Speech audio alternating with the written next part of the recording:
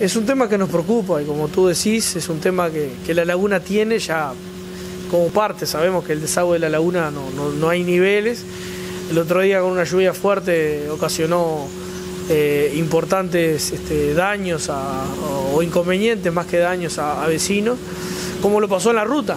Eh, la ruta propia 18 no aguantó y el agua pasó del lado a lado.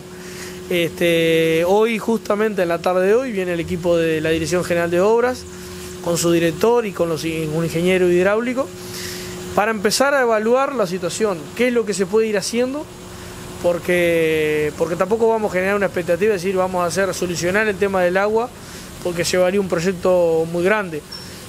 Personalmente creemos que hay que ver cuáles serían las soluciones que podamos ir realizando y concretando para que cuando sucedan este tipo de, de tormentas, de lluvias intensas en tan poco tiempo, no perjudiquen a, los vecinos. Claro, el gran tema es que el agua circule, que creo que es el problema, porque las lluvias evidentemente es algo que no pueden tratarlo ustedes, pero sí el, que el agua circule, creo que por lo menos los puntos más afectados se podría solucionar. Sí, hay puntos afectados que, no circula por, por problemas de que están tapados diferentes cruces.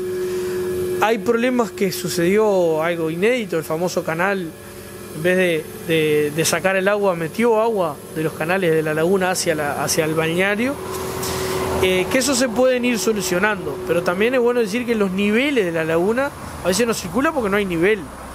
Este, entonces, bueno, ahí precisamos un, ojo mucho más técnico que nos ayude a, a, ser más precisos cuando vamos a hacer un desagüe o una canalización de agua.